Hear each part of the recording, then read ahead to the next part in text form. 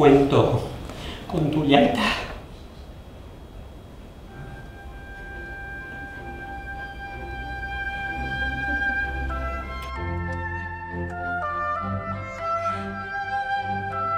¿Me podrías amar?